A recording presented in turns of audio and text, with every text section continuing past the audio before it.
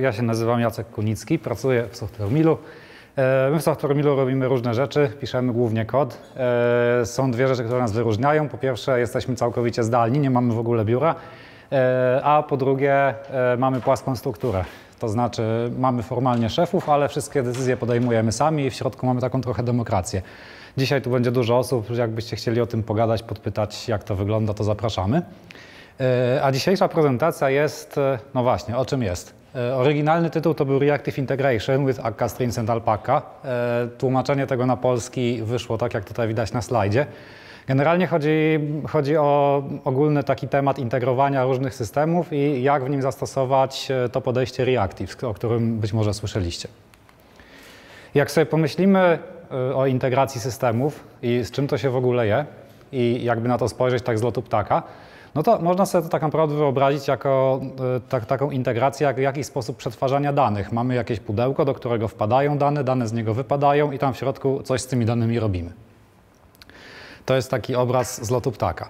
No i jak sobie spojrzymy historycznie, jak to wyglądało, to około roku 2000 mieliśmy taką powiedzmy małą rewolucję w podejściu do budowania systemów rozproszonych.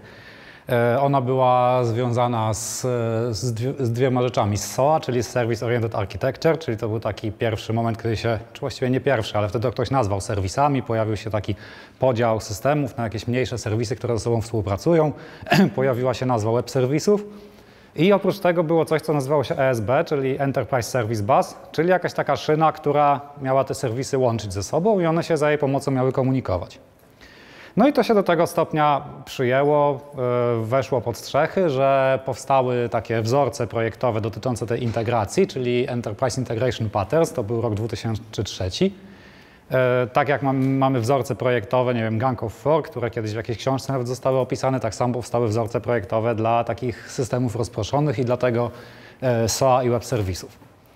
E, to podejście no, wydawało się fajne, natomiast ono, ono miało swoje wady, bo okazało się, że jak, jak się to zaczynało implementować, to właściwie mieliśmy taką sytuację, że e, to nie były de facto mikroserwisy, tylko to był taki bardziej rozproszony monolit e, z takim jednym, e, jednym single point of failure, czyli takim miejscem, gdzie jak się zepsuje, to wszystko przestaje działać. I tym single point of failure była ta szyna ESB, e, no bo on, ona była jedna. E, poza tym e, te usługi, czy te serwisy rozproszone, które były, one, one często były pisane w blokujący, w synchroniczny sposób, czyli właściwie niezbyt dużo nam dawały, jeśli chodzi o poprawę przetwarzania tego, tych danych. E, I również nie było na przykład silnie typowane, to znaczy z reguły jak tam jakieś dane przesyłaliśmy, no to gdzieś tam się jakieś po prostu stringi pojawiały, które latały między tymi serwisami i trzeba było coś, coś z tym robić, ale nie do końca było wiadomo, jaki to jest typ danych właściwie. Natomiast to się, tak, to, to, to, się tak wszystko rozkręciło, że w 2007 roku powstał Apache Camel, czyli projekt, który miał e, jakby być implementacją w sumie tych Enterprise Integration Patterns. I teraz jak sobie pomyślimy o Camelu, jeżeli ktoś z Was miał do czynienia z integracją, no to prawdopodobnie to jest tak, że otwieramy lodówkę i widzimy Apache Camela, bo właściwie jak ktoś robił integrację, to prawdopodobnie robił za pomocą Camela. Zaletą Camela jest to, że on ma mnóstwo konektorów, to znaczy jak sobie wymyślimy jakiś system, do którego byśmy się chcieli podłączyć, to prawdopodobnie w Camelu jest do niego konektor. No ale Camel ma też swoje wady. E, pierwszy, I to są właściwie te wady, o których mówiłem przy okazji tego podejścia już z ESB i z SOA, czyli po pierwsze większość tych konektorów w Camelu jest synchroniczna i blokująca. E, tutaj taki mały przypis się należy, bo są konektory, które są, są asynchroniczne. E, nawet są jakieś, które implementują coś z tego podejścia reactive. Natomiast sam Camel jako całość nadal on, on tego nie, nie, uwzględnia w tym, w tym ogólnym rozwiązaniu. Czyli nawet jakiś konektor będzie asynchroniczny, to i tak całościowo Camel jako, jako całe rozwiązanie nadal będzie synchroniczny i raczej blokujący. No i to, co, o czym wcześniej mówiłem, że właściwie nie przesyłamy jakichś konkretnych typów danych, tylko przesyłamy wszędzie same stringi. Tak samo jest z tymi konektorami w Camelu. E, no i to może się kończyć takimi błędami, że dostaniemy nie ten typ danych, który chcieliśmy i gdzieś w najmniej oczekiwanym momencie może nas to ugryźć. Więc tak wyglądała historia tego przetwarzania. No, nasza branża idzie do przodu, więc powstały też jakieś nowe pomysły, jak do tego można podejść. E, w dzisiejszych czasach trochę się zmienił sposób przetwarzania danych w porównaniu do tego, co było powiedzmy te 15 lat temu. Wtedy raczej królowało takie przetwarzanie wsadowe czy baczowe. E, teraz, ponieważ tych danych mamy bardzo dużo, one przychodzą właściwie przez cały czas. Nie wiem, chociażby jak pomyślimy o jakichś rozwiązaniach typu IoT, ale, ale nie tylko. Mamy danych, dane, których spływa pełno, więc chcemy je przetwarzać strumieniowo. Nie chcemy mm, tych danych przetwarzać gdzieś tam offline i później udostępniać, tylko jak te dane przychodzą, to my coś z nimi chcemy robić, wyrzucać wyniki i działać dalej na tych, co przychodzą. W takich e, scenariuszach przetwarzania strumieniowego e, z reguły chcemy pamiętać o tym, żeby w jakiś sposób kontrolować to, w jaki te dane, w sposób, w jaki te dane przepływają. To chodzi o to, że jeżeli mamy jakiegoś konsumenta, który gdzieś tam nie nadąża z obsługą danych, no to żeby, żeby go nie zalać tymi nadmiarowymi danymi, tylko żeby mieć jakoś kontrolę nad tym, z jaką prędkością te dane tam przesyłamy. I ponieważ powstają nowe podejścia, nowe języki programowania, mają lepsze API, to być może przy tym integrowaniu systemów też moglibyśmy pomyśleć o jakimś łatwiejszym modelu programowania niż do tej pory. Jak sobie przypomnimy ten pierwszy rysunek, gdzie spoglądaliśmy z lotu ptaka na to, jak wygląda ta integracja systemów, gdzie mamy to pudełko w środku, które te dane przetwarza, no to właściwie takie pudełko, które przetwarza, to ma sobie jakąś funkcję, która coś robi z tymi danymi. Ona ma wejście, wyjście i coś z nimi robi, więc no, abstrakcja, którą do tego znamy, to jest właśnie funkcja. I teraz jakbyśmy mieli kilka takich klocków tutaj na tym obrazku, no to wykonanie takich kilku operacji po sobie to jest nic innego jak złożenie funkcji ze sobą po prostu. Więc w ramach upraszczania tego modelu programowania możemy trochę pójść w stronę programowania funkcyjnego, gdzie, gdzie się posługujemy już funkcjami wyższego rzędu, możemy sobie przekazywać funkcje do innych funkcji i traktować właśnie nasz cały, cały taki schemat przetwarzania danych jako właściwie złożenie funkcji. I w odpowiedzi na takie potrzeby e, powstało rozwiązanie, o którym będę chciał dzisiaj powiedzieć, które się nazywa Alpaka. Alpaka to jest e, zbiór konektorów, do, e, które współpracują z Akka Streams. Akka Streams, o których będę też dzisiaj mówił, to jest jedna z implementacji Reactive Streamsów, e, pochodząca od TypeSafe'a, teraz Lightbenda. E, I Alpaca to jest taka zewnętrzna biblioteka, która dostarcza nam różne konektory. Tak jak w Camelu mieliśmy konektory, to tak w Alpacce mamy konektory, których używamy za streamsami. Alpaca na pewno nie jest tak popularna jak Camel. Ma tych konektorów dużo mniej, bo o ile Camel miało tam około 200, to Alpaca e, ma około 30. Ta ilość się zwiększa cały czas, ale to jest jednak nadal pewnie jedna czwarta tego, co w Camelu. Natomiast ma zalety, które są raczej przeważające e, nad tymi brakami w postaci mniejszej ilości konektorów na przykład. Po pierwsze Alpaka, ponieważ współpracuje z Akka Streamsami, jest zbudowana od podstaw na tych e, pomysłach ze specyfikacji Reactive Streams.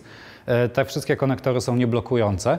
I one są silnie typowane też, czyli jak piszemy sobie taki pipeline, brakuje mi tu polskiego słowa, przepraszam, jak, jakiś taki, taką architekturę przetwarzania danych, to już na etapie pisania kodu kompilator nas pilnuje, żebyśmy tam przesyłali dane odpowiedniego typu. Co się często przydaje, bo prawdopodobnie niejednokrotnie się Wam zdarzyło, że jak gdzieś się przesyła same stringi, no to później, prędzej czy później się pojawia z tym jakiś problem. E, to teraz zanim przejdziemy do, do tej alpaki, do przykładów, e, które chcę dziś pokazać, to e, będzie takie szybkie przypomnienie, o co chodzi w tym przetwarzaniu strumieniowym, o co chodzi w Reactive Streamsach.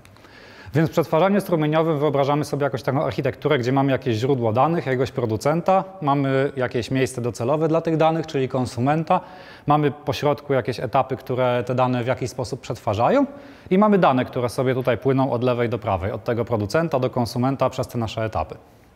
I teraz jak sobie pomyślimy o takiej architekturze, e, to można sobie zadać pytanie, czy tutaj coś może pójść nie tak. E, no i jeżeli będzie taki scenariusz, że ten producent jest wolny, a konsument jest szybki, to raczej wszystko będzie dobrze działało. Natomiast w sytuacji odwrotnej, kiedy producent jest szybki, a konsument jest wolny, e, pojawiają nam się jakieś dodatkowe dane, z którymi coś trzeba zrobić. No bo jeżeli tego czegoś nie zrobimy, to konsument nie będzie w stanie ich obsłużyć. I oczywiście są różne podejścia do poradzenia sobie z takim problemem. E, takim najprostszym podejściem jest, jest na przykład buforowanie tych danych, powiedzmy na przykład po stronie konsumenta. Tylko, że problem z buforowaniem jest taki, że bufor ma ograniczoną pojemność, no bo mamy skończoną ilość pamięci na naszych maszynach i jeżeli ten bufor nam się przepełni, no to nam e, całe to rozwiązanie wybuchnie i, i nie będzie działało. Więc buforowanie no, do pewnego momentu jest dobre, ale nie jest to rozwiązanie na wszystkie możliwe sytuacje. Inny sposób to jest taki, żeby te dane nadmiarowe po prostu ignorować. E, to wbrew pozorom się całkiem często zdarza, tylko że na trochę niższym poziomie niż my się na co dzień poruszamy. Ale jak sobie spojrzymy na sprzęt sieciowy, no to tam nie jest niczym nadzwyczajnym, że jak jakieś, jest jakichś danych za dużo, pakietów na przykład, to one są pomijane po prostu. No ale w takich przypadkach, kiedy my realizujemy jakieś, jakieś scenariusze biznesowe i klient ma jakieś dane, które my chcemy przetwarzać, to z reguły nie chcemy tych danych gubić, nawet jak ich jest za dużo. Więc pozbywanie się nadmiarowych danych też nie zawsze będzie najlepszym rozwiązaniem.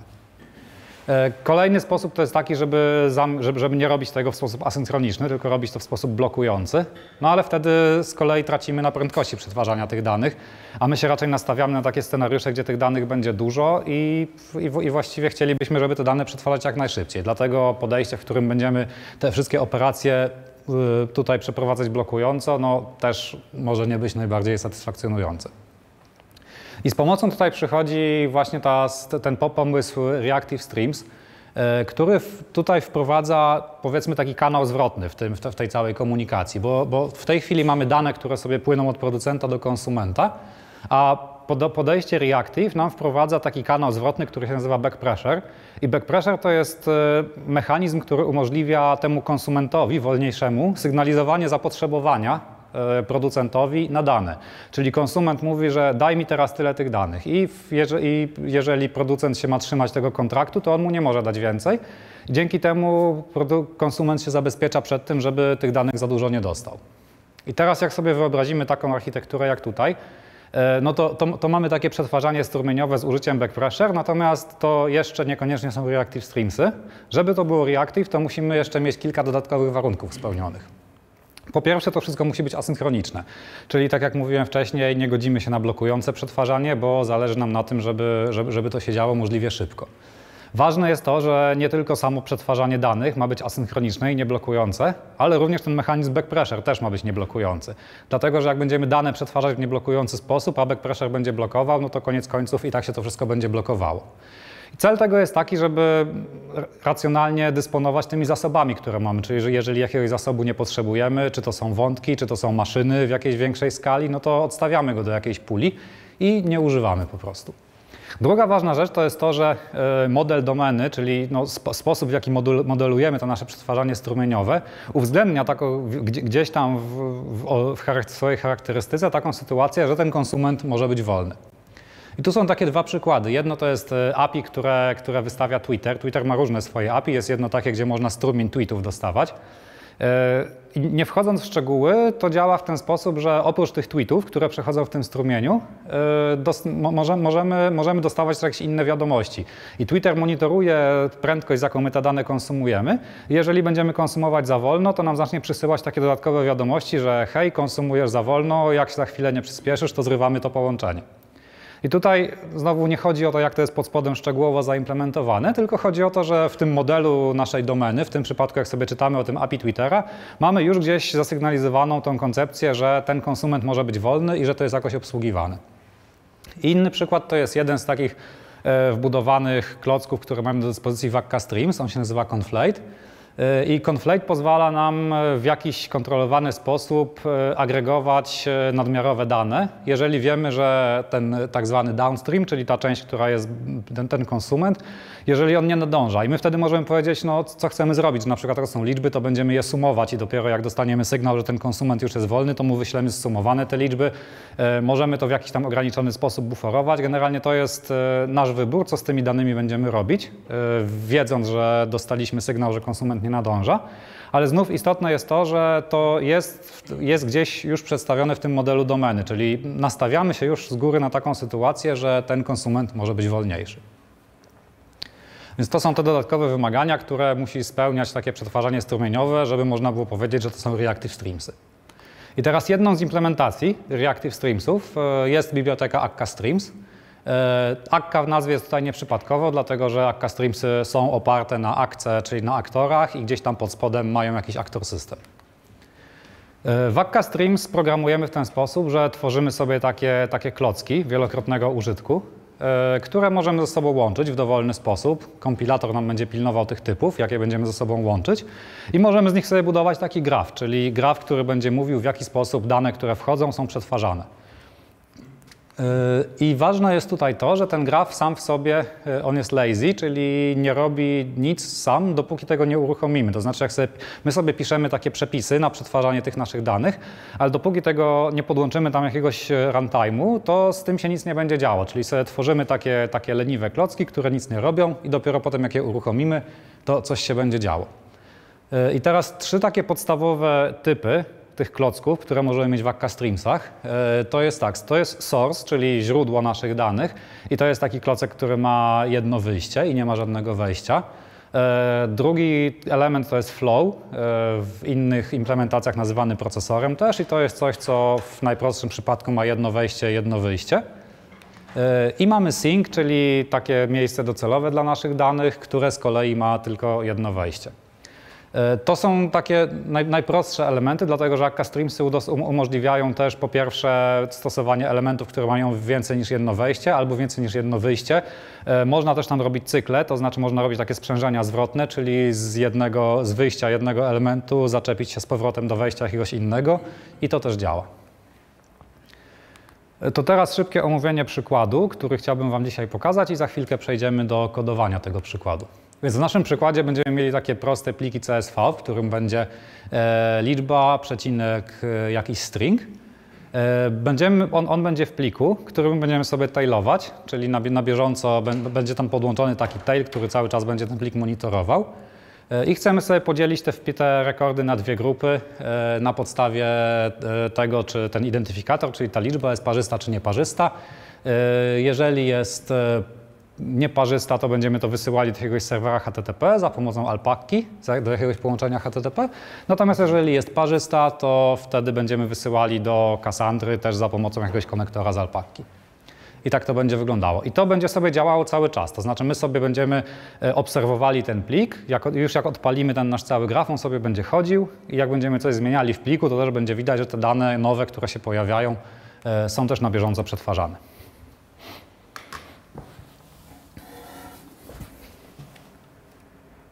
Teraz mam nadzieję, że jak to będę dotykał wszystkiego, to ciągle to będzie działać. E, z reguły nie lubię na ciemnym tle kodować, bo wydaje mi się... Mogę zmienić? O, no to jak mogę zmienić, to zmienię, bo wolę mieć jasne. Dobra, nie miga, to super. E, ok, więc mamy taki prosty model danych, e, który reprezentuje to, co mamy w tym pliku CSV, czyli rekord, który ma identyfikator i wartość. E, tutaj żadnych cudów nie ma. Mamy taki nietypowy konstruktor, który bierze listę czegoś i, i z tego nam tworzy instancję, to później się za chwilkę okaże jasne, do czego nam to jest potrzebne. E, no i mamy trochę ustawień tego boilerplate'u, który potrzebujemy. Ścieżkę do tego pliku, e, zapytanie do Cassandry, które będziemy robić i jakieś tam specyfikacje połączeń. Więc teraz zaczniemy sobie to kodować i pierwsza rzecz, którą musimy napisać, zaczniemy, zaczniemy od tworzenia tego, e, te, tego naszego source'a, czyli tego, co będzie nam czytało te dane z pliku. Później sobie napiszemy te poszczególne konektory do Cassandry i do serwera HTTP. E, dalej sobie napiszemy tą część, która dzieli na podstawie tego, na, jakby na dwa strumienie, w zależności od tego, czy ten identyfikator był parzysty, czy nie. I później to wszystko złożymy w całość, uruchomimy i zobaczymy, co będzie. E, więc żeby zacząć e, to czytanie z naszego pliku, e, to będziemy potrzebowali tego klocka typu source, czyli tego, który jest tym, tym naszym źródłem. I teraz my będziemy czytali z tego pliku bajty. Będziemy to używali tego specjalnego typu zakki, który, zakka streamsów, który się nazywa byte string i to jest jakaś tam ichniejsza reprezentacja tablicy bajtów po prostu. Ale widzimy, że tutaj mamy jakiś jeszcze jeden parametr typu, bo mamy, mam, mamy specyfikację tego typu wyjściowego, ten out, który jest byte stringiem, bo to jest to, co przeczytamy z tego pliku. Natomiast mamy jeszcze coś, co się nazywa mat. No i cóż to jest to mat? E, ten skrót jest od materialized value. I e, materialized value to jest e, taki, takie coś, co strumień, ten w Streamsach, może powiedzmy, że tak powiem, udostępnić e, światu zewnętrznemu, bo ten typ e, wyjściowy, ten byte string, który sobie tutaj zdefiniowaliśmy, to jest typ danych, które są przesył, będzie przesyłany wewnątrz tego strumienia, czyli dane wychodzące z tego source'a będą typu byte string. Natomiast może się zdarzyć tak, że my chcemy wyemitować jakąś wartość na zewnątrz, czyli, czy, czyli nie, nie żeby ona była przesyłana w strumieniu, tylko chcemy ją móc odczytać też gdzieś na zewnątrz. E, Nie będziemy tutaj używać tych wartości zmaterializowanych, ale ponieważ kompilator każe nam tu coś wpisać, to chcia, chciałem wyjaśnić, o co tutaj chodzi. I dla, ponieważ sytuacja, w której nie używamy żadnych wartości zmaterializowanych nie jest taka nadzwyczajna, to jest specjalny typ do tego, który się nazywa not used. E, I dlaczego osobny typ? No bo moglibyśmy tu void wstawić na przykład. Ale trzeba pamiętać, że akka jest do używania i akka streamsy zarówno w Java, jak i w skali. E, I teraz w Java mamy ten typ, typ void przez wielkie V, w skali mamy unit z kolei. E, no a żeby to API było jakieś spójne pomiędzy Java i skalą, to mamy jakiś typ, który jakby ujednolica to. I ten not used to jest taki odpowiednik voida w Java i unita w skali a przy okazji ma nazwę, która dosyć dobrze sugeruje, po, po, co, po co tego typu używamy. Więc e, jest trochę czytelniej. Teraz nazwiemy sobie tego naszego source'a file bytes i tutaj używamy, użyjemy pierwszego konektora z Alpaki, który się nazywa file tail source. E, on tutaj bierze trochę parametrów, e, bierze ścieżkę do tego naszego pliku, z którego będziemy czytać, bierze maksymalną wielkość takiego no, paczki danych, którą odczytamy. Te nasze linie są małe, więc wpiszemy sobie tutaj 100. Pozycja, z której startujemy, u nas to jest 0 i częstotliwość, z jaką mamy odpytywać ten plik, patrzeć na zmiany. My sobie tutaj zrobimy to co jedną sekundę, powiedzmy. I to jest już pierwszy klocek, który sobie pierwsza część tego całego grafu w Akka Streamsach, który sobie zaimplementowaliśmy. On jest typu source, dlatego że nie ma żadnego wejścia i ma jedno wyjście. I używa tego jednego z konektorów z Alpaki, który się nazywa File Tail Source i służy właśnie do e, takiego pod podłączania taila do jakiegoś pliku. Teraz druga rzecz, którą musimy zrobić, jak będziemy mieli te nasze dane z pliku, e, to chcielibyśmy mieć e, je zamienione na nasz model domeny, czyli na tą naszą klasę model. Więc teraz e, chcemy napisać kolejny element, który tym razem będzie flowem, dlatego że my chcemy, żeby do niego wpadały te byte stringi, które przyjdą z tego taila, a żeby z niego wypadały nasze klasy model, czyli będziemy mieli wejście i wyjście, więc będziemy mieli flow. I teraz na wejściu tego flowu będzie byte string, a na wyjściu będzie model. E, I znowu mamy ten typ dla wartości zmaterializowanej, którego nie będziemy używać, więc znów piszemy tutaj not used. E, nazwiemy to sobie toModel. I teraz użyjemy tutaj kolejnego narzędzia, kolejnego klocka z Alpaki, który, który, który dostajemy do e, parsowania linii z pliku CSV. Mamy taki obiekt, który się, klasę, która się nazywa E, CSV parsing i tam jest e, coś, co się nazywa line scanner. I teraz jak sobie popatrzymy na typ, to to jest flow, czyli też taki coś, co ma wejście i wyjście, bo wrzucamy do niego jakieś bajty odczytane z pliku, a on nam będzie e, wypuszczał poszczególne linie z tego pliku już w postaci rekordów. On wypuszcza nam kolekcję byte stringów. Każdy element w tej kolekcji to jest jeden z rekordów w tej linii, czyli jak tu wpadnie tam linia 1,fu, to w tej kolekcji tutaj będziemy mieli element 1 i element fu w postaci bajtów. Więc po, ponieważ mamy, mamy to w postaci, bajt, w postaci kolekcji bajtów, jak zajrzymy z powrotem do naszego modelu danych, to mieliśmy tutaj konstruktor, który bierze listę tych byte stringów, e, a my mamy kolekcję, to w pierwszej kolejności chcemy zamienić e, tą kolekcję na, na listę, więc używamy tutaj operatora map. I tutaj też już widać, że te, sporo z tych operatorów, które mamy w Akka Streamsach, są, jest podobnych do operatorów, które my znamy z pracy na kolekcjach. Tylko, że ma, mamy jakby taką abstrakcję trochę pracy na takiej kolekcji, która de facto nie jest kolekcją, tylko strumieniem, ale te operacje, no operacja map bierze jakiś element i coś z nim robi i zwraca jakiś inny. I to jest bardzo, to, to API jest miejscami bardzo podobne do tego, co znamy ze zwykłych kolekcji. Yy, więc chcemy sobie z kolekcji zrobić listę i do tego użyjemy metody copy of z listy. I teraz chcemy sobie to zamienić na instancję naszego modelu, ponieważ już mamy konstruktor, który bierze listę, e, to możemy sobie tutaj przekazać referencję do tego konstruktora po prostu i, e, i to, to wtedy tak zadziała. Więc tutaj napisaliśmy drugi element tego naszego całego grafu, który jest flowem, czyli ma jedno wyjście jedno wejście. Na wejściu dostajemy te bajty, które przyszły z pliku, a na wyjściu dostajemy już poszczególne elementy naszego, to są poszczególne linie z tego pliku w postaci klasy z naszego modelu domeny. I tutaj wykorzystaliśmy e, CSV parsing z Alpaki i wykorzystaliśmy metody map z Akka Streamsów, czyli to są, to są już operacje, które, które robimy na tym naszym strumieniu. Więc mamy, ma, mamy odczytywanie danych z pliku, mamy zamianę na model domenowy, Y, Teraz przeskoczymy na sam koniec tego naszego grafu i napiszemy te dwa elementy do zapisywania do e, serwera HTTP i do Cassandry.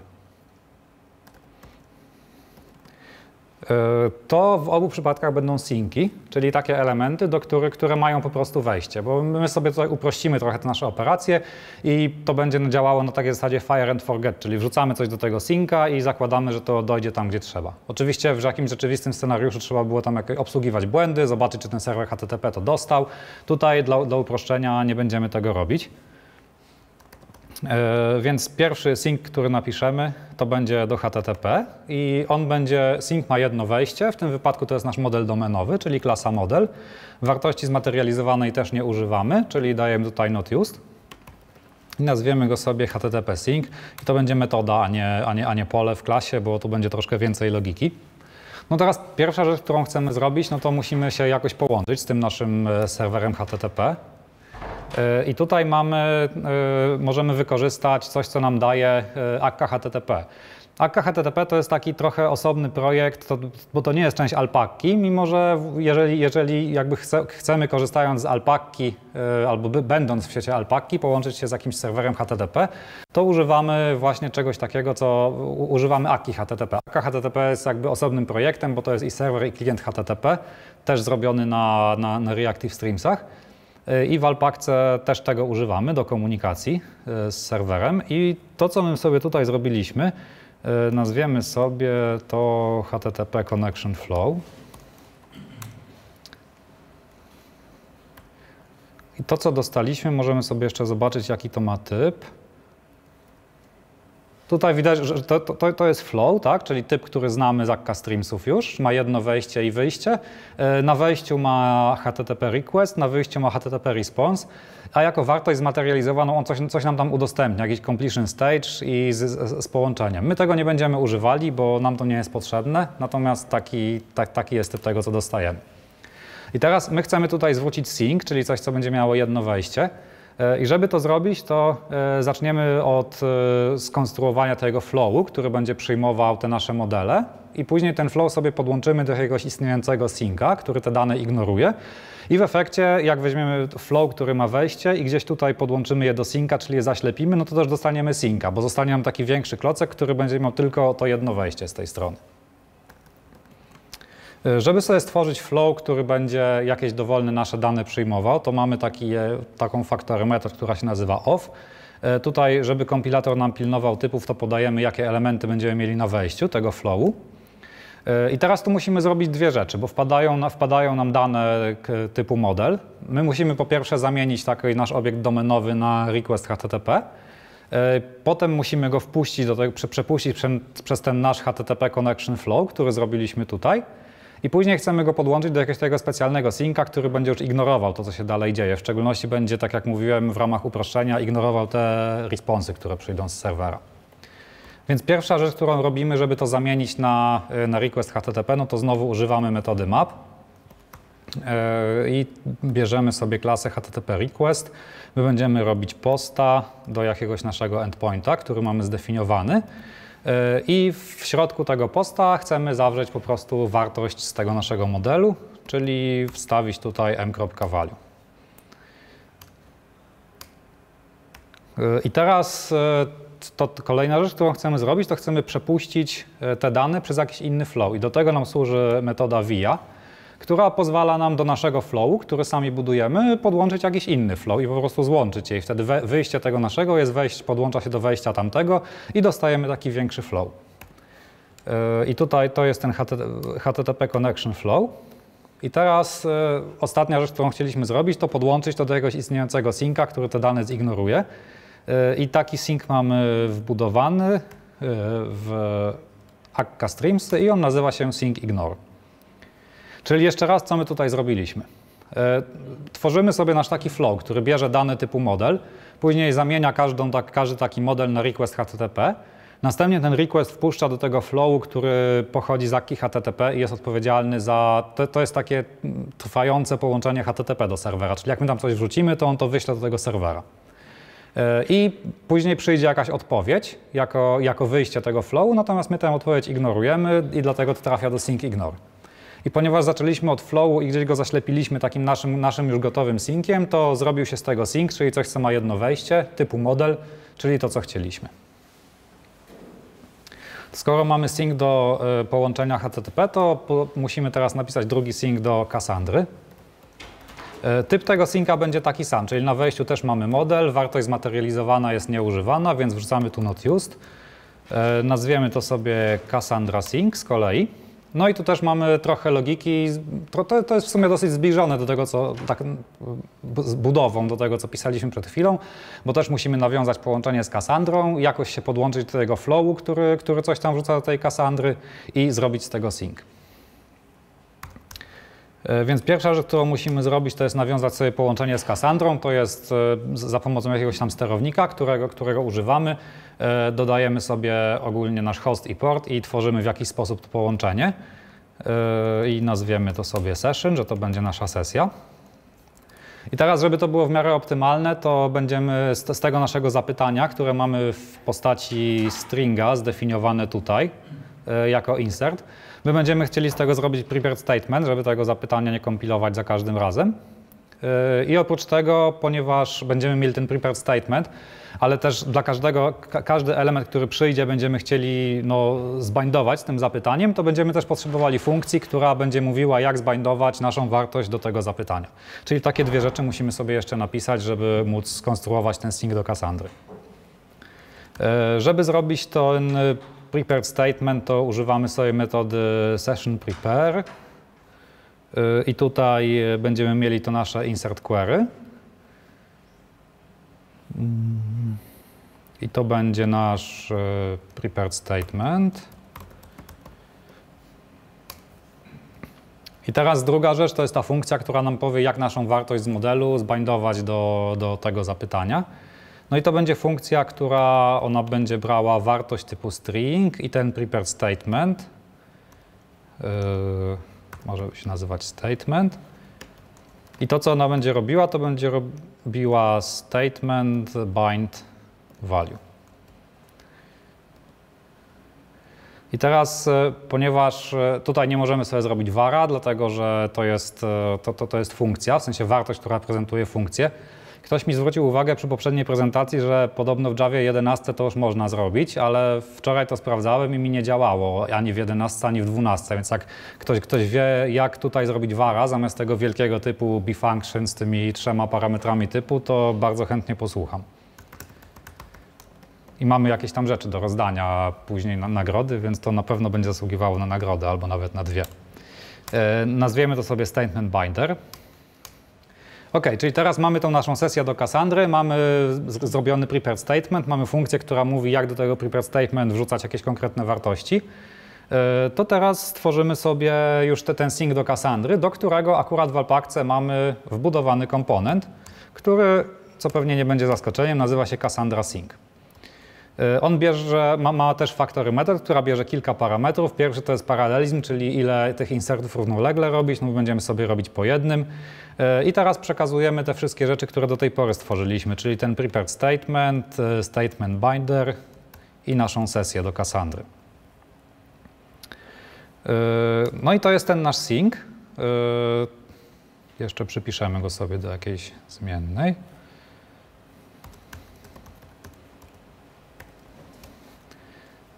Teraz jak zobaczymy, jaki to ma typ, to to jest on, on przyjmuje stringa, tak? A do naszego singa, który zdefiniowaliśmy tutaj, wpadają wartości z modelu, więc ostatni krok w tym, w tym miejscu, który pozostaje nam zrobić, to jest skonwertowanie naszego modelu na string, e, a to już wiemy jak robić. Więc tu robimy trochę podobnie jak przy HTTP, czyli tworzymy sobie e, flow, który przyjmuje nasz model. Teraz musimy z tego modelu wyciągnąć naszego stringa, czyli używamy metody map. Nie możemy tu dać referencji do metody, bo tam nie mieliśmy getara żadnego, tylko mieliśmy pola publiczne, więc robimy tutaj, po prostu mapujemy to na m.value. E, I tak jak wcześniej podłączamy to do istniejącego synca. W tym wypadku to nie będzie sync ignore, bo, e, bo w tym, w poprze, przy HTTP mieliśmy do dyspozycji flow zakka HTTP, a tu mamy już do dyspozycji z Alpaki sync do Cassandry, więc po prostu możemy to podłączyć do tego naszego synca. Więc podłączamy to w ten sposób i dostajemy to, czego potrzebowaliśmy. Czyli jeszcze raz podsumowując ten krok, on jest dosyć, trochę analogiczny do podłączania się do serwera HTTP. Tworzymy sobie tutaj sesję odpowiadającą połączeniu do Cassandry. E, później tworzymy sobie prepared statement, no żeby nie kompilować naszego zapytania za każdym razem. E, tworzymy sobie funkcję, która mówi, jak naszą wartość zbindować do tego prepared statement. E, korzystamy z Cassandra Sync dostępnego w Alpakce, żeby sobie stworzyć już sync, czyli coś w naszym świecie Akka Streamsów. Ponieważ ten string bierze stringa, a, my chce, a, do nas wpadają nasze modele domenowe, to konwertujemy ten model na stringa w ten sposób, tworząc sobie taki prosty flow, który mamy to demap i później podłączamy to do tego naszego synca od Cassandry.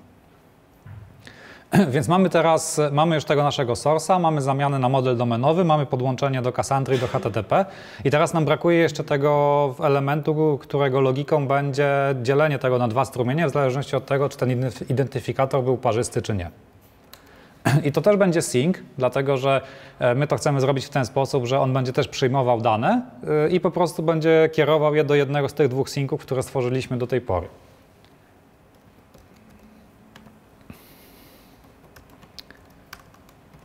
I to będzie sync też, który będzie przyjmował model. Też będzie miał wartość zmaterializowaną not used. Nazwiemy go sobie partitioning sync. I tutaj skorzystamy z trochę innego narzędzia, które nam dają Akka Streamsy do tworzenia tych naszych gotowych klocków, bo wcześniej korzystaliśmy albo z komponentów z Alpaki, albo tworzyliśmy ten flow sami za pomocą tej metody flow off i później używaliśmy jakichś metod typu map. E, albo via do łączenia tego lub przeprowadzania jakichś operacji. Natomiast czasami się zdarza, że chcemy zrobić coś bardziej złożonego, do czego nie ma wbudowanego komponentu, albo chcemy wziąć kilka wbudowanych komponentów i jakoś się ze sobą połączyć. I do tego mamy takie, takie API w Akka Streamsach, które się nazywa GraphDSL, czyli taki no, DSL do, do budowania tych naszych grafów. E, on ma metodę create, która operuje na czymś, co się, co się nazywa builder i to jest takie, to jest obiekt, który nam służy do tworzenia struktury tego naszego grafu i do podłączania, łączenia tych poszczególnych wejść i wyjść różnych komponentów ze sobą. I teraz to, co my będziemy chcieli stworzyć w tym grafie, to teraz jak, jak, sobie tworzymy graf za pomocą tego buildera, to przy tej instancji buildera używamy do tego, żeby wszystkie elementy, które mają być w tym grafie, najpierw dodać do tego grafu i wtedy będziemy mogli je ze sobą łączyć. Więc pierwsza rzecz, którą będziemy chcieli dodać do tego naszego grafu, to jest taki wbudowany element Zakka Streamsów, który się nazywa partition. On też ma faktory method create. Y, I teraz y, po pierwsze podajemy mu, jakie dane będziemy mieli na wejściu. I potrzebujemy tu jeszcze dwóch parametrów. Y, nas interesuje ten konstruktor na samym dole, czyli potrzebujemy określić, jaka będzie, ile będzie wyjść z tego kroku partition. E, bo krok partition to jest tak zwany fan out, czyli taki, który ma jedno wejście i wiele wyjść, czyli z jednego wejścia nam, nam, nam robi kilka strumieni. Odwrotnością tego jest krok fan in, który może mieć kilka wejść i robić z tego jedno wyjście. W naszym wypadku wyjścia będą dwa, dlatego że dzielimy na podstawie tego, czy tam identyfikator jest parzysty, czy nieparzysty. I teraz na koniec musimy podać ten partitioner, czyli tą funkcję, która będzie mówiła, w jaki sposób zdecydować o tym, do którego wyjścia to ma trafić. I w naszym wypadku to jest po prostu wzięcie identyfikatora i wzięcie reszty z dzielenia przez 2. I nazwiemy sobie ten krok e, partition. I teraz to jest ten element, który my dodaliśmy do tego naszego grafu za pomocą buildera, więc za chwilkę jak stworzymy kolejne elementy, to będziemy mogli to ze sobą łączyć. Teraz e, my, my, chcemy to zrobić w ten sposób, żeby do wyjścia, te, do jednego z wyjść tego partition podłączyć nasz sync do HTTP, a do drugiego sync do Cassandry. Tylko żeby je móc połączyć z tym partition, to też musimy je dodać do tego grafu. Czyli mu, musimy e, napisać tutaj e, builder add i dodajemy nasz sync do Cassandry. Możemy sobie to nazwać Cassandra. I analogicznie dodajemy nasz sync do serwera HTTP i nazywamy to sobie HTTP. I teraz pozostaje nam jeszcze połączyć wyjścia tego partition z wejściami tych naszych synków, żeby, żeby to wszystko było spięte w całość. Do tego też używamy buildera i mamy taką konstrukcję, która się nazywa builder from. E, I teraz mówimy, że bierzemy ten element partition, e, bierzemy jego pierwsze wyjście, czyli o indeksie 0 i podłączamy je do Cassandry. I analogicznie robimy z HTTP, tylko że tutaj bierzemy pierwsze wyjście i podłączamy je do HTTP.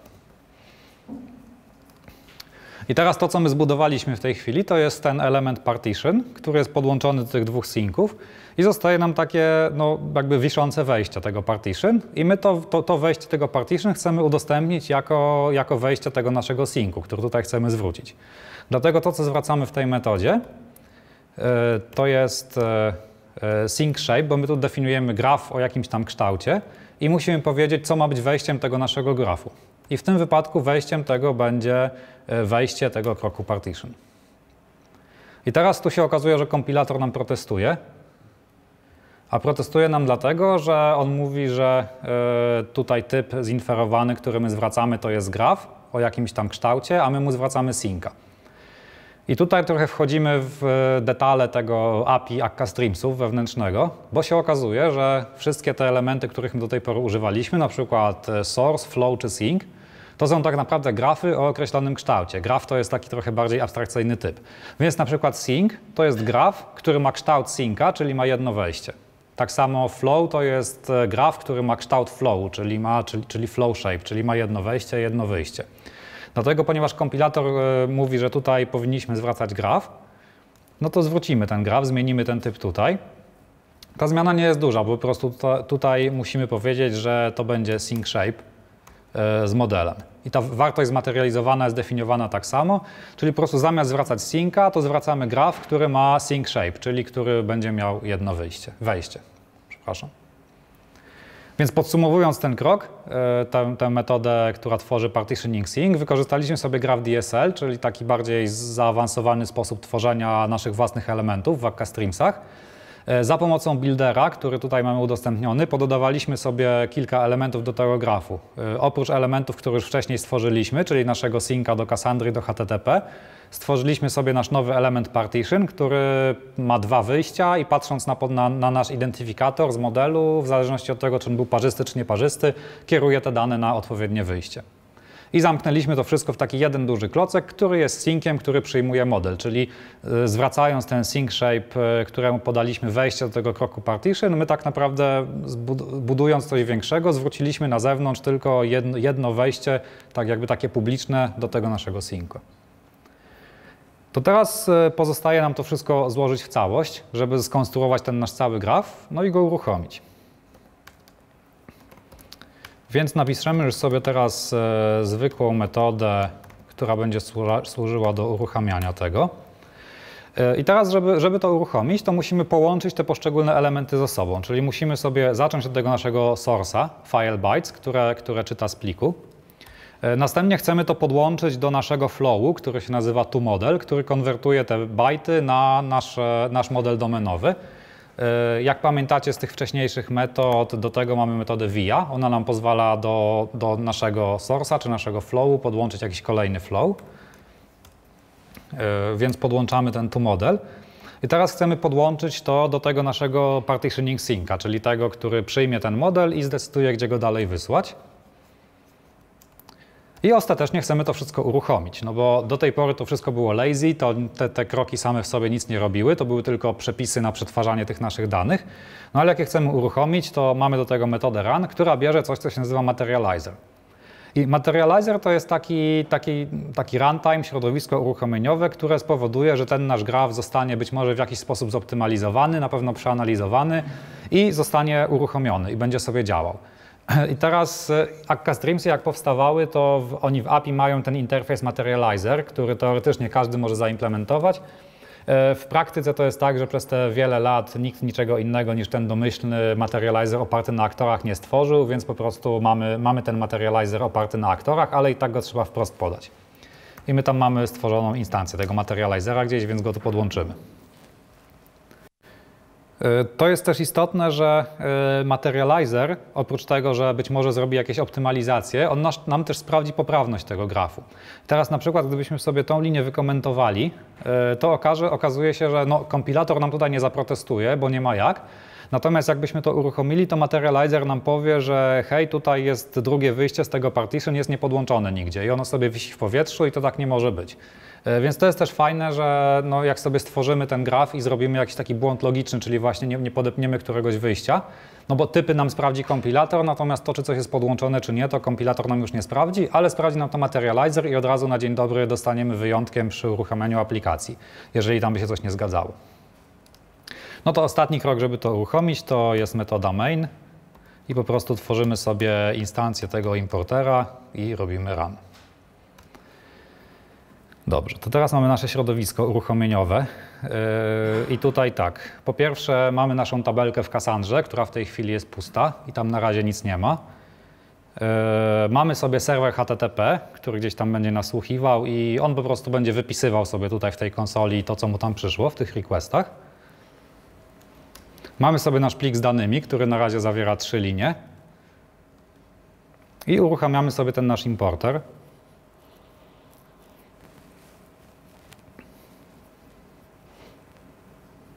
No i widzimy, że w konsoli serwera HTTP nam się już jakieś dane pojawiły, foo i bus, a w Cassandrze nam się pojawiło bar. Trochę nam się to nie mieści na ekranie, nie widać. I teraz te, no, czyli, czyli te dane, które początkowo mieliśmy w pliku, zostały dobrze przetworzone, ale ten flow sobie cały czas chodzi. On, on nie został wyłączony po przetworzeniu tych danych, tylko cały czas sobie nasłuchuje. Teraz jak sobie dodamy kolejną liczbę parzystą, parzy, znaczy kolejny wiersz z parzystym identyfikatorem do tego naszego pliku, to on nam wpadnie tutaj do Cassandry, ponieważ to jest parzysta wartość. Jak sobie dodamy na przykład wartość nieparzystą, to ona nam się pojawi w serwerze HTTP.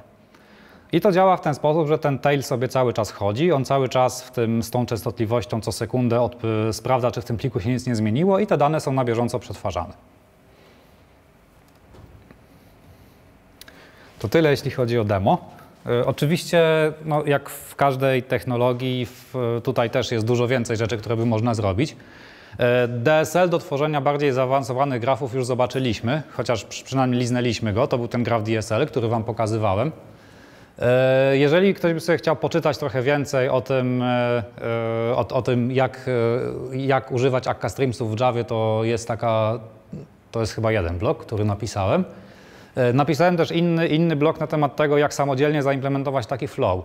I to jest, o, o, ile korzystanie z tych gotowych klocków to był taki pierwszy poziom wtajemniczenia, drugi poziom wtajemniczenia to był ten graf DSL, to jest jeszcze kolejny poziom wtajemniczenia, gdzie po prostu bierzemy API z Akka Streamsów i tworzymy sobie własne implementacje. To się przydaje na przykład, jeżeli chcemy zaimplementować e, jakiś element, który będzie miał swój wewnętrzny stan, bo to jest przewidziane w API Akka Streamsów. Wiele z tych operatorów jest bezstanowych, natomiast można stworzyć operatory, które mają jakiś swój wewnętrzny stan również, tylko trzeba w odpowiedni sposób użyć tego API. E, w tym, w tym blogpoście jest akurat opisane, jak stworzyć właśnie element, który ma swój jakiś wewnętrzny stan, który agreguje inne, agreguje przychodzące elementy według jakiegoś tam kryterium i jak to kryterium się zmieni, to wypuszcza to dalej i zaczyna znowu agregować. I y, Alpaca jako projekt open source'owy jest dobrym miejscem, gdyby ktoś chciał zająć, zacząć swoją przygodę z open source'em, dlatego że jak widzieliście wcześniej, Alpaca ma około 30 tych konektorów, może teraz trochę więcej, Camel ma około 200, więc jakby wziąć diffa pomiędzy tym, co ma Camel, a czego nie ma Alpaca, to można usiąść i to zaimplementować. E, to community jest całkiem fajne, jest bardzo dobra dokumentacja i opis, opisująca to, jak się zabrać do, projekt, do, do pisania takich flowów i przy okazji się myślę można sporo nauczyć. Oczywiście te najbardziej popularne są już zaimplementowane, to co pozostało do napisania jest pewnie mniej trywialne, ale spróbować zawsze warto. E, to jest wszystko, co chciałem Wam dzisiaj powiedzieć na tej prezentacji. E, na GitHubie są te wszystkie źródła, które dzisiaj pokazywałem.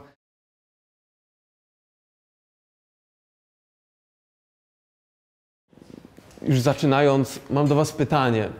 Czy kojarzycie może tą grę? Ja tutaj widzę uśmiechniętą osobę i parę smutnych i prawdopodobnie to ci sami gracze. Yy, tak, jest to gra World of Warcraft, jeden z największych na świecie MMORPGów. Gra, która zarobiła naprawdę miliony dolarów i gra, która również zgromadziła miliony graczy. Yy, ciekawostka jest taka, że w 2005 roku wypuścili oni update który dodawał nową lokację. A lokacja to takie miejsce, gdzie gracze wspólnymi siłami w małej grupie walczą z potworami i na końcu walczą z bossem. To nie było nic nowego. Aczkolwiek, kiedy walczyli z tym bossem, to rzucał, rzucał on na nich czar osłabiający, co również nie było niczym nowym. I to była trucizna. Tylko, że nowością było to, że ta trucizna przechodziła z gracza na gracza. W małej grupie 10 osób nie było problemu, ponieważ oni byli dość, że byli dostosowani do tego gracza, do, do, tego bossa, to jeszcze byli, e, się znali i jeżeli by umarli, to nic się nie stało. Aczkolwiek nikt nie pomyślał o tym, co się stanie, kiedy zarażeni gracze wrócą do swoich miast. I tak się stało. Kiedy gracze z wysokim poziomem wrócili do swoich miast i byli zarażeni, zarażyli innych graczy. Równie silni gracze przenosili tą truciznę na innych, a słabi gracze od razu umierali. I w ten właśnie oto sposób rozpoczęła się pierwsza na świecie zaraza w grze MMORPG. Wyobrażacie to sobie? Przez tydzień czasu Blizzard sobie nie mógł z tym poradzić. Przez tydzień czasu 4 miliony awatarów graczy zginęło. To było na tyle ciekawe, że miasto wyglądało jak cmentarzyska, a samą, y, samym tym wydarzeniem zaczęły interesować się organizacje rządowe, które właśnie walczą, y, które zbierają dane i pomagają w trakcie kryzysów. Ponieważ była to pierwsza na świecie symulacja zachowania człowieka w trakcie, kiedy coś się takiego wydarzy kiedy wydarzy się jakaś zaraza. I za każdym razem, kiedy właśnie zastanawiam się nad tym wydarzeniem, to myślę, co by było, kiedy ktoś w trakcie code review zadałby pytanie, ej, a co jeżeli ktoś zarażony wróci do miasta?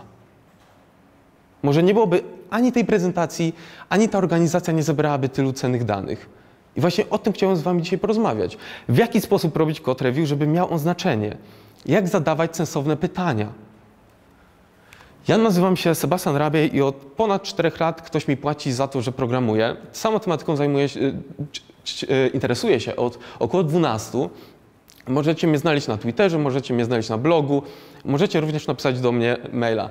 E, szukam również odpowiedzi na pytanie, co znaczy być profesjonalistą i w formowaniu tej odpowiedzi pomaga mi właśnie Software Mill, który dzisiaj to wszystko organizuje. I to tyle z mojej autopromocji, teraz kolej na Was. Kto z Was robi code review? Super, no to po mojej prezentacji wszyscy robią. Kto z Was ma code review jako cykl wytwarzania oprogramowania? Super. Kto z Was uważa, że code review nie ma sensu? Nikt się nie odważył. OK, a czy ktoś z Was zastanawiał się, skąd się wzięło samo code review i jaką wartość powinno dowieść? Zawsze na to pytanie mniej osób podnosi rękę. Jest to spowodowane tym, że my jako ludzie nie podważamy statusu quo. Zazwyczaj jako osoby mniej doświadczone przychodzimy do zespołu i ktoś nam mówi róbcie 100% pokrycia kodu. Trochę nam to nie pasuje, brzmi to dość tak średnio, aczkolwiek zgadzamy się na to, ponieważ powiedział to nasz autorytet. Powiedział to jakiś senior, specjalista, architekt, ktokolwiek. Mijają lata, my się szkolimy, uczymy, czytamy książki, chodzimy na meetupy, takie jak ten. I w końcu ktoś nam zadaje pytanie, dlaczego wy to robicie? Dlaczego wy używacie 100% pokrycia kodu? Co, co, co, to w ogóle ma być? I wtedy mówimy, w sumie to u nas tak się robi. I wielokrotnie się spotkałem z taką sytuacją. Jest to pułapka. I nie chciałbym, żebyście wpadli tą w pułapkę również na code review. Jak więc opowiem wam krótką historię, skąd się ono wzięło. Otóż code review za, zostało zainspirowane czymś, co się nazywa peer review czyli recenzją naukową. Pierwszy raz Code Review został przedstawiony przez pana, który się nazywa Michael, Michael i opisał on coś, co się nazywa formalna inspekcja Fagana, Feigana. Był to bardzo formalny proces, który opisywał każdy krok, który musi zostać spełniony, aby Code Review doszła do samego końca. Opisywał on również role, które muszą być spełnione, abyśmy my mogli dowieść Code Review. I było to strasznie formalne a my jesteśmy zwinni, więc niezbyt nam to pasowało. No chyba, że chodzi o codzienne stand-upy, co dwutygodniowe daily, to wtedy nam pasuje, ktoś nam narzuca sposób pracy, ale w tym przypadku nie. Code Review był, tak jak powiedziałem, Code Review był zainspirowany peer review.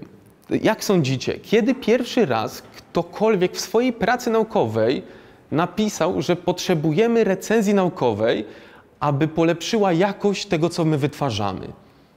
Jest są do wygrania koszulki, hand, handbooki, wszystko. Jak sądzicie, w którym roku, może w którym wieku? Jakieś propozycje?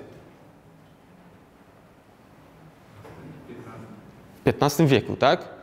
Okej, okay. jesteś jedną osobą, która odpowiedziała, wygrywasz coś. I, I o dziwo jesteś bardzo blisko, ponieważ ten pan, który żył pomiędzy IX a X wiekiem, większość pewnie pomyślała 1900 któryś. Ten pan żył pomiędzy IX a X wiekiem napisał on pracę, która się nazywa Etyka lekarza. I opisał tam właśnie code review. To była pierwsza, pierwsze zaczęcie właśnie y, y, recenzję naukową i to było pierwsze właśnie zaczęcie czegoś, co dało nam podwaliny do code review. I co ciekawe, peer review samo z siebie zakłada, że powinien to zrobić osoba równa nam, czyli osoba równie y, kompetentna jak my. Code review trochę tak nie wygląda, prawda? Ale o tym za chwilę. I tak jak powiedziałem, to będzie krótka historia, code review i doszliśmy do końca. I teraz mam do Was pytanie. Co sądzicie o tym komentarzu do code review? Oczywiście pod spodem rzeczywiście ktoś złamał prawo Demeter. I jak sądzicie, czy można ten komentarz napisać lepiej? Co w nim może być nie tak? A czy może jest dobrze? Czy macie jakieś propozycje? Również można coś wygrać. Tak, dokładnie. Dobrze, jeśli jeszcze link na przykład do staka czy gdzieś podaję, żeby poprzeć swoją tezę. Dokładnie tak. E, Pierwszą rzeczą, na którą ja zwracam uwagę, to jest fakt, dlaczego ten komentarz jest po angielsku.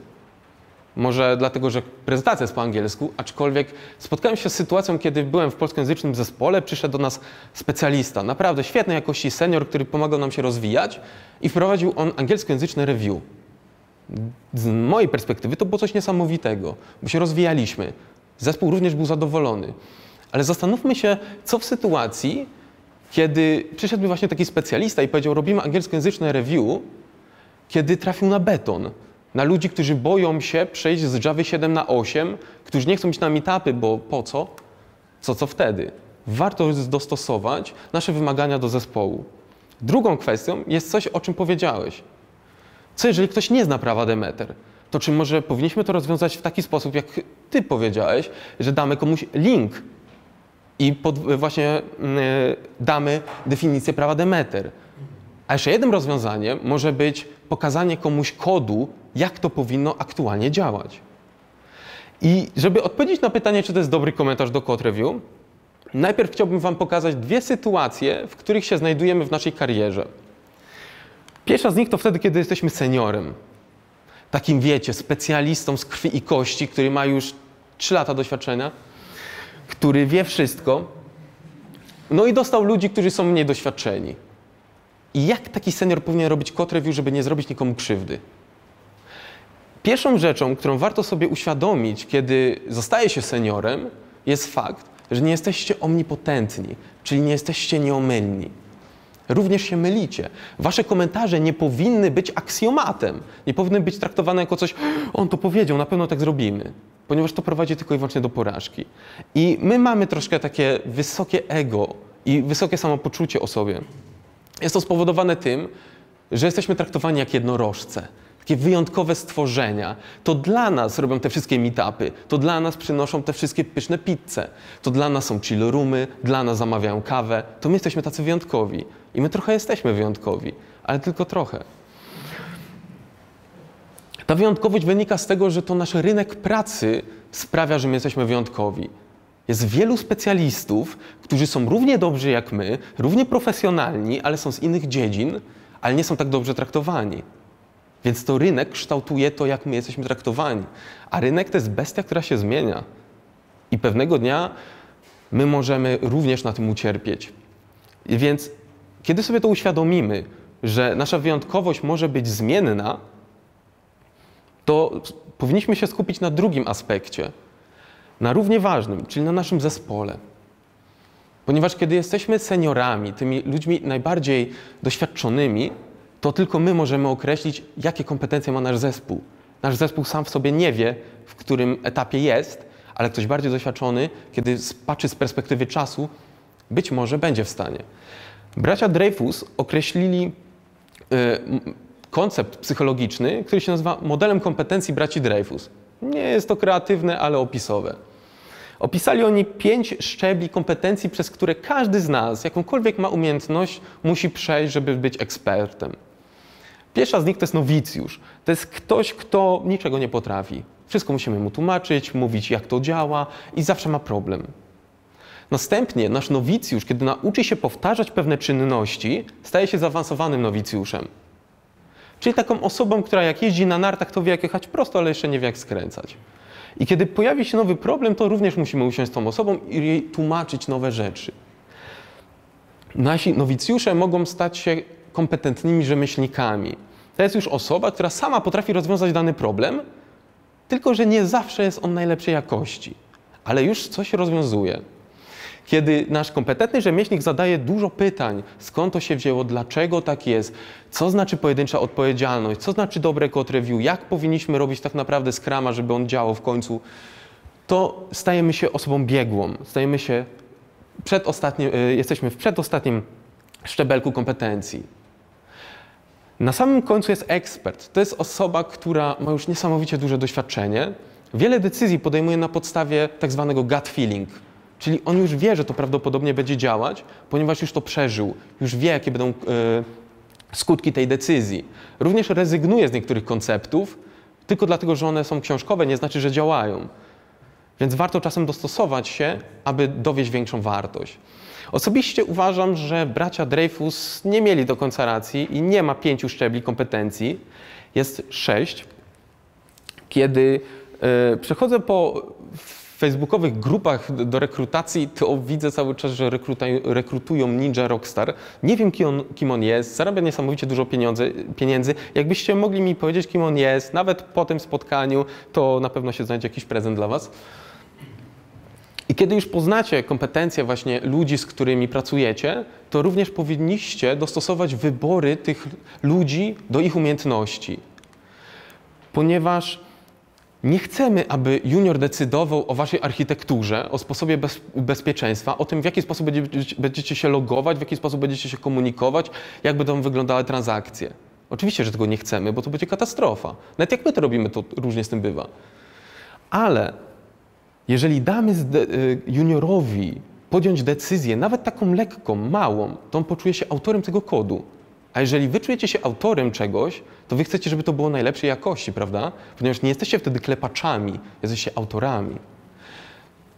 I takim podstawowym, y, podstawowym przykładem może być fakt, że nasz y, junior zrobi zbyt dużą odpowiedzialność w metodzie.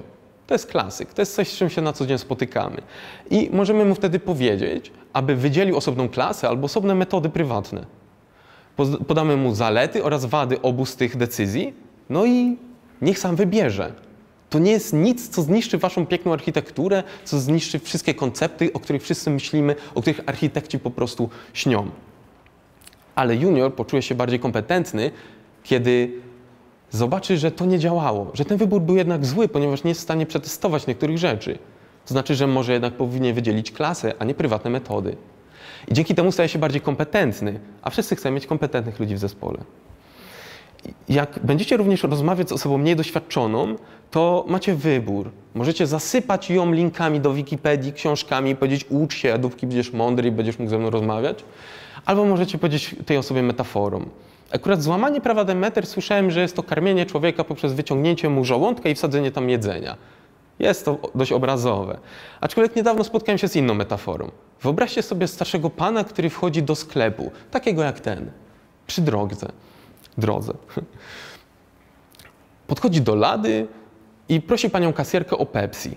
Pani kasjerka wyciąga taką zimną z lodówki i mówi 2,50.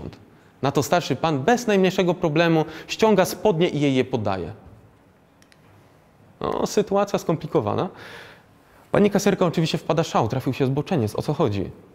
Starszy pan również jest skołowany i stara się wytłumaczyć swoją sytuację. No jak to? Proszę wziąć moje spodnie, z tych spodni proszę wyciągnąć portfel. Następnie z tego portfela proszę wybrać sposób płatności, zapłacić za kartę, e, zapłacić za moją Pepsi, następnie wsadzić resztę do tego portfela, portfel wsadzić do, do, do spodni i oddać mi moje spodnie. I to jest to samo, co robicie, kiedy robicie get, get, get, get, kropka set.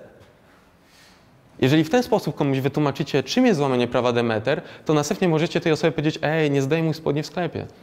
Z boku to będzie wyglądało dziwnie, nie oszukujmy się, ale jeżeli złapiecie ten sam koncept i będziecie mogli rozmawiać na tej płaszczyźnie, to wiele łatwiej będzie rozmawiać o pewnych trudnych e, definicjach. Ale to, co chciałbym, żebyście zapamiętali z bycia właśnie seniorem, bycia najbardziej doświadczoną osobą w zespole.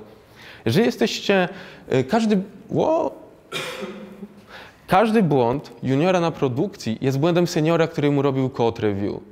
I nie mówię tego po to, żebyście się czuli źle z tym. Mówię po to, abyście poczuli, jak duże macie możliwości.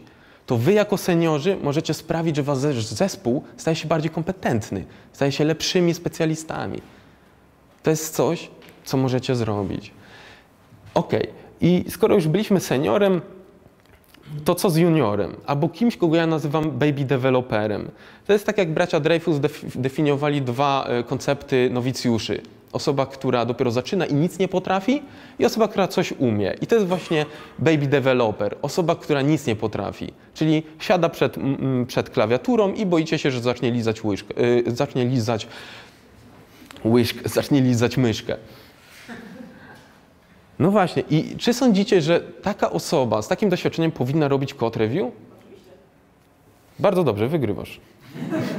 Dokładnie, ponieważ w zdrowych zespołach taka osoba powinna być wręcz namawiana do tego, żeby robiła code review, bo nie jest przesiąknięta tym całym korporacyjnym syfem, nie jest przesiąknięta tym, tymi wszystkimi technologicznymi problemami, które, z którymi my się męczyliśmy przez parę lat. I ona wtedy może zadać pytania, ok, a dlaczego my tak to robimy? Na początku to mogą być głupie pytania z waszej perspektywy, ale z czasem, kiedy ta osoba będzie się uczyć i będzie dalej namawiana do tego, żeby zadawać pytania, to może spytać, a dlaczego taki wzorzec? A dlaczego to robimy tak? A dlaczego nasz biznes działa w ten sposób? A dlaczego to nie działa? O, już nie. No właśnie, pytania są ważne. Tak więc odpowiadając na pytanie, czy to jest dobry komentarz do code review, to zależy. Jeżeli e, robimy go juniorowi, nowicjuszowi, jakkolwiek go zdefiniujemy, to nie najlepszy, ponieważ tak jak mówiliście, mogą nie rozumieć, czym jest prawo Demeter. Więc prawdopodobnie powinniśmy mu wytłumaczyć tej osobie, być może powinniśmy z nią usiąść i jej wytłumaczyć to. A z drugiej strony, jeżeli robimy ten komentarz, e, dajemy ekspertowi, no to nie ma problemu. W odpowiedzi możemy nawet dostać od, odpowiedź, która mówi: OK, wiem, ponieważ framework, który wybraliśmy 5 lat temu, zmusza nas do takiego właśnie e, działania. Co nie znaczy, że ten framework został najlepiej wybrany, ale przynajmniej my się czegoś nauczyliśmy dzięki temu. Więc wszystko zależy. Ale bez znaczenia, czy jesteśmy seniorem, juniorem, midem, kimkolwiek pomiędzy, wszyscy możemy sprawić, że nasz code review będzie chociaż odrobinę lepszy. A żeby był lepszy, to powinniśmy zrozumieć, co tak naprawdę code review powinien nam dawać. I nie tylko po to, żebyśmy sobie mówili to na meetupach, w małych grupach, tylko żebyśmy potrafili go sprzedać. Żebyśmy potrafili go sprzedać PM-owi, dyrektorowi, CTO, dy, y, prezesowi. Pierwszym argumentem za code review jest fakt, że się uczymy. I nie uczymy się tylko i wyłącznie technicznych aspektów, ale domenowych. Wiemy, jak to działa. Wiemy, jak to zostało rozwiązane i wiemy mniej więcej dlaczego. A to zwiększa nam, nam buzz factor. Czy ktoś wie, co to jest buzz factor? Super. Parę osób podniosło. Dla tych, którzy nie wiedzą, to buzz factor to jest współczynnik, ile osób. Co? Nagrodę, tak, dostaniesz nagrodę. Bilet na autobus. Y, Buzz factor to jest współczynnik, ile osób musi potrącić autobus, żeby projekt upadł. Jeżeli macie jednego Uber architekta, który trzyma wszystkie, e, całą wiedzę domenową u siebie, wszystkie decyzje podejmuje, to wystarczy, że zachoruje i wasz projekt upada. I to jest coś, co przemawia do ludzi, którzy są od zarządzania. I ostatnim argumentem, bardzo kontrowersyjnym, jest fakt, że code review sprawia, że szybciej dowozicie. Co prawda, jeżeli będziemy pisać dwutygodniowy kod i ja będę robił code review, a wy nie, to prawdopodobnie szybciej to dowieziecie. Tylko, że pamiętajcie, że biznesowe aplikacje i praca nad długimi projektami to nie jest sprint, to jest maraton. Jeżeli na początku stracimy bardzo dużo energii na maratonie, ponieważ będziemy biec sprintem, to później za 10-20 km będziemy mieć problem w ogóle, żeby złapać oddech. I tak samo jest z projektami. Jeżeli na początku e, weźmiecie dług technologiczny, nie robiąc code review, to później będziecie mieli same problemy. Jeżeli już Wam się uda sprzedać code review, i mam nadzieję, że Wam się uda, to powinniście wraz ze swoim zespołem podjąć decyzję, w jaki sposób będziecie robić te code review. Mam tu dla Was kilka przykładów. Pierwszy, tak jak wspomniałem, jest to formalna inspekcja Feigana. Lecz to nie musi być w ten sposób, w jaki sposób on opisywał. To może być po prostu jakiekolwiek formalne spot... W jakiekolwiek, okej. jakiekolwiek formalne spotkanie, które, y, na którym rozmawiacie o tym, w którym kierunku pójdzie wasz kod. I co ciekawe, to działa na legacy systemach. Jeżeli już nikt nie pamięta tego kodu, wy w niego wchodzicie w jakimś drobnym zespołem, no to warto jest wtedy pomyśleć, w którym kierunku idziemy. No bo w dużych legacy systemach zasada każdy sobie jest taka średnia. I jeżeli e, w tym, w trakcie tego e, formalnego procesu będziecie mieli jakieś wnioski, jakieś, e, zadeklarujecie, w jaki sposób będziecie działać, to następnie możecie poprzez właśnie jakiś lekki code review, czyli właśnie przez to wszystko asynchroniczne, co my robimy, czyli GitHub, Bitbucket, pull requesty i tak dalej, możecie w ten sposób pilnować, że rzeczywiście to zostało utrzymane. I jest jeszcze pair programming, który właśnie sprawia, że jeżeli wy się kłócicie, robicie jakąś świętą wojnę w komentarzach, to lepiej usiąść wspólnie i zacząć kodzić. Nie jest to, e, oczywiście per, per programming to nie jest typ code review, ale to jest sposób, żeby zmniejszyć feedback pomiędzy dwoma osobami. Ponieważ nie znam innego sposobu, chyba sami sobie byście musieli robić code review, żeby zmniejszyć e, feedback loop. I pamiętajcie, że pomiędzy tymi właśnie e, typami można przechodzić, a code review samo w sobie to nie jest powiedzenie komuś, że się myli. To jest tylko zaproszenie do, do rozmowy. Powinniście, je- jeżeli już będziecie robić code review, to róbcie je dobrze, ponieważ złe code review boli całe życie. Możecie odejść z pracy przez to, możecie mieć wojnę w, właśnie w biurze, E, możecie stracić osobę, która przyszła do Was na rekrutację, ponieważ źle robicie code review i on nie poczuł tego, właśnie tego czegoś, co chciałby poczuć, kiedy ktoś mu robi code review. I żeby robić dobrze code review, warto się skupić na ludziach. Sun Tzu powiedział, że jeżeli znasz siebie i swojego wroga, to nie będziesz się obawiać wyniku tysiąca bitew, które będziesz z nim toczyć. Oczywiście nie traktujmy swojego zespołu jako wroga, aczkolwiek warto go znać, ponieważ to są, to, to są ludzie. To mogą być osoby, które mają problem w domu, ponieważ ktoś jest chory. To mogą być osoby, które są bardzo niepewne siebie. I każda krytyka, która wejdzie w ich stronę, może po prostu sprawić, że oni się zgodzą, nawet jeżeli się na, tak naprawdę nie zgadzają. Więc warto jest poznać ludzi, z którymi pracujecie. I kiedy skupicie się właśnie na tych ludziach, możecie poznać taką osobę, która definiuje siebie poprzez swój kod. I są trzy powody, dlaczego tak się dzieje. Pierwszy z nich jest taki, że właśnie nie jest pewna siebie i szuka czegoś, co ją zasłania, czegoś, co ją chroni. To jest właśnie ten kod. Drugi jest taki, że była na naprawdę dobrej technicznej prezentacji. Była na jakimś warsztacie i czegoś się nauczyła i naprawdę chce. Była na prezentacji Jacka i mówi, teraz robimy tak, jak Jacek mówił. A ostatnim aspektem może być to, że ta osoba została zepsuta przez nas, ponieważ źle robiliśmy ten code review, źle robiliśmy ten code review i przez to ta osoba definiuje siebie poprzez swój kod. I żeby poprawić ten stosunek z tą osobą i rzeczywiście, żeby troszkę lepiej nam się funkcjonowało, to powinniśmy uświadomić sobie i swojemu, zespołowi, że code review to nie jest metryka. To, że zrobię któremuś z Was 30 komentarzy do code review wcale nie znaczy, że jestem lepszy. To, że ktoś dostanie jeden komentarz, a ktoś dostanie 10, wcale nie znaczy, że ta osoba, która dostała 10 jest gorsza. Code review nie służy do tego, żeby poprawić nasze ego. W żadnym wypadku. Code review służy do wspólnej wymiany wiedzy i opinii. Kiedy robicie komuś code review, warto również tą osobę chwalić. Mamy taką tendencję do tego, że najlepszy kod, kiedy robi się mu code review, to ma tylko aprówy. Ma zero komentarzy. Dlaczego? Ludzie lubią być chwaleni. Ja lubię być chwalony. Wy też lubicie być na pewno chwaleni. Więc można napisać komuś, super, że dodałeś te testy. Fajnie, że użyłeś zasady skauta, naprawiłeś nowy, nasz kod. I ciężko czasem zdefiniować takie zdanie. Ja wiem, jesteśmy e, techniczni. Ale wysłanie lajka wystarczy. Zrobienie komentarza i napisanie OK, super, fajnie. I to poprawia komuś dzień. Tak samo jak będziecie komuś mówić, że zrobił coś niewłaściwie, to pamiętajcie, żeby oceniać rozwiązanie tej osoby, a nie tego człowieka. To może być najgorsza amenda, ponieważ zjadł wam jogurt z lodówki, aczkolwiek i tak powinniście oceniać jego rozwiązanie, a nie tą osobę.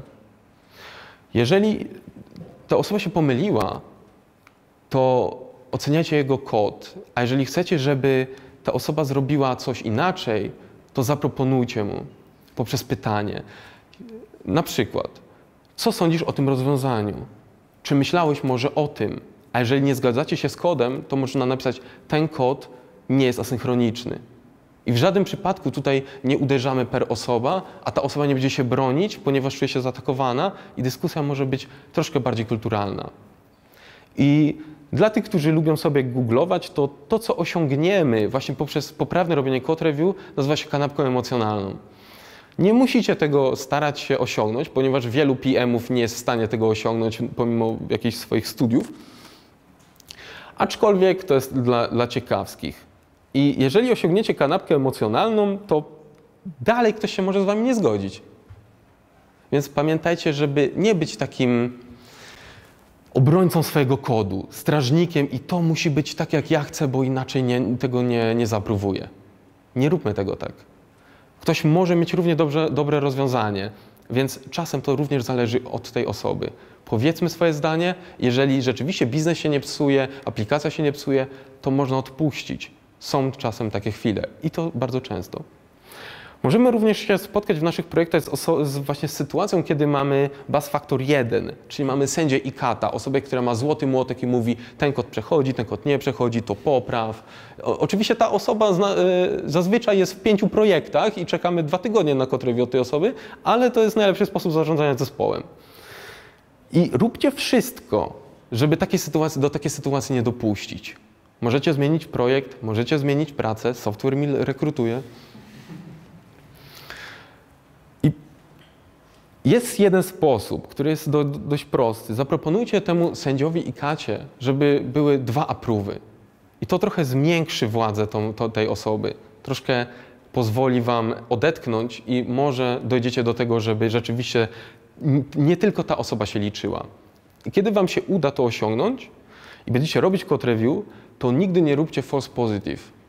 Czyli wiecie, jest godzina 15, le- głowa- boli was głowa, jesteście zmęczeni, ten kod jest taki duży, więc dam approval i pójdę do domu. Nie róbmy tak, ponieważ osoba, która wypchnęła ten pull request, też jest piątek, godzina 14, boli go głowa i też wypchnął kod. A później na produkcji się sypie. Jeżeli dajecie approval, to czujcie się odpowiedzialni za ten kod. Powinniście go zrozumieć. Powinniście go zrozumieć przynajmniej w takim stopniu, żeby być za niego odpowiedzialni i móc w nim coś zmienić. Tak samo nie oceniajmy osoby, która robi code review. Mm, Nie warto jest robić takich sytuacji, kiedy kod, kod nie działa. Wiemy, kto zakomitował go, wiemy, kto go zmerdżował, ale kto zrobił code review? Może ta osoba źle zrobiła, ponieważ zaaprobowała. I to jest takie szukanie winnego zamiast naprawiania problemu. Moim zdaniem nie warto. Można komuś zaproponować, aby inaczej robił code review, ale nie oceniajcie go za to, że zrobił je źle. Shit happens, jak to się mówi. Możecie również spotkać osobę, która nie chce robić wam code review. Powodów jest kilka. Na przykład jest specjalistą od performance'u, a nie interesuje tej osoby domena. Oj. I nie, nie interesuje tej osoby domena. I w takiej sytuacji nie ma co się kopać z koniem. Taki specjalista zazwyczaj ma takie zatyczki na oczach i po prostu on idzie w jednym kierunku, on idzie w performance. Więc, żeby się nie kłócić, nie rzucać poduszkami, krzesłami, wypowiedzeniami, to po prostu zróbcie checklistę. Wspólnie z tą osobą, z którą się nie zgadzacie, jako zespół. Nigdy nie pozwólcie, żeby ktoś wam tą checklistę napisał, ponieważ z tego wyjdzie syf. Wspólnie z tą osobą zróbcie checklistę. I te punkty, które Wam nie pasują, wypiszcie, żeby cały zespół musiał je zrobić. I również wymusimy na tym samym, właśnie na tym specjaliście, który nie chciał ro robić kodu, żeby zaczął robić te rzeczy, które nie do końca mu pasują, ponieważ się pod tym podpisał. I jednym z takich punktów może być fakt, że rozumiecie testy domenowe, ponieważ w trakcie code review my lubimy się skupiać na niepotrzebnych importach, zbyt dużych metodach, nazewnictwie itd., itd. Aczkolwiek warto się skupiać na tym, co jest najważniejsze w trakcie kodu, czyli na domenie. Ponieważ gdyby nie domena, to nie byłoby nas tutaj. Ponieważ ci ludzie zarabiają na naszej pracy. Nieważne co to jest, ale oni na tym zarabiają, więc warto zrozumieć biznes, w którym pracujemy. Możemy powiedzieć, że niektóre, niektóre techniczne aspekty sprawiają, że nasz biznes jest lepszy. Na przykład, jak szybko się ładuje strona. To jest techniczny aspekt, ale skąd wiemy, która strona ma się załadować szybciej, skoro nie znamy domeny? Więc to jest najważniejsze. I żeby skupiać się na domenie, używajcie narzędzi, które spra- sprawdzają wasz kod. Robią wam find- findbugi, check style, ponieważ nie chcecie tego sprawdzać, nie jesteście maszynami, nie dacie rady zawsze. Będzie to e, tylko jakiś e, szum informacyjny.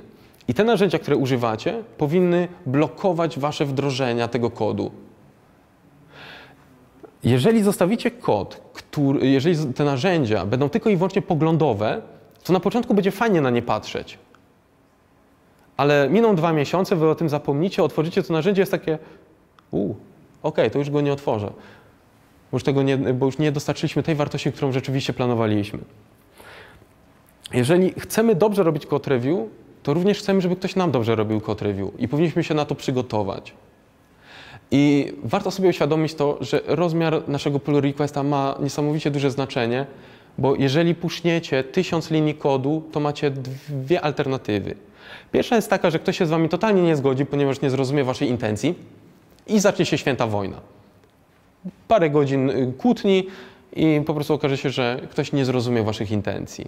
A drugi aspekt to może być taki, że ktoś nie zrozumiał waszych intencji, ale to wygląda dość, dość ładnie. Tak są wcięcia, są testy, zielono, czyli nic nie popsuł, co było, aktualnie coś działa, więc mogę to zapróbować. Zrobił false positive. I obie sytuacje są złe. Róbcie małe pull requesty. Jak rozumiem, są niektóre sytuacje, kiedy pull request musi być duży, więc wtedy wypychajcie same testy. A jeżeli testy wymagają refaktoru, to wypychajcie same nazwy testów. One przejdą, bo są puste.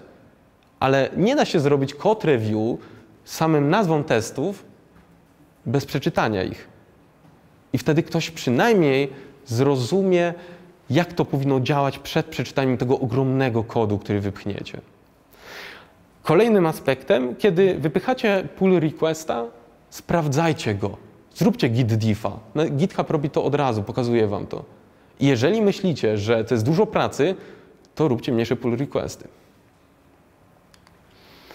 I pamiętajcie, że code review to nie jest silver bullet. To jest coś, o czym powiedziałem na początku. Co jeżeli ktoś by wstał w trakcie i powiedział, wiecie, ro- rozdarł koszulę i powiedział, a co jeżeli ktoś zarażony wróci do miasta? No dobrze, ale to samo pytanie mogło zostać zadane w trakcie każdego z etapów wytwarzania oprogramowania. Więc kiedy będziecie rozwijać code review, to nie rozwijacie tylko jego. Rozwijajcie wszystkie elementy wytwarzania oprogramowania, ponieważ jest to jedno z wielu narzędzi. Nie warto poświęcać kupy czasu na code review, jeżeli nie macie monitoringu na produkcji, jeżeli nie wiecie, jak rozmawiać z biznesem, jeżeli wasze wdrożenia to są trzy dni. Ale nie zapominajcie o nim, ponieważ jest równie ważny. I mam nadzieję, że moja prezentacja pozwoli Wam polepszyć swoje code review. Dziękuję serdecznie.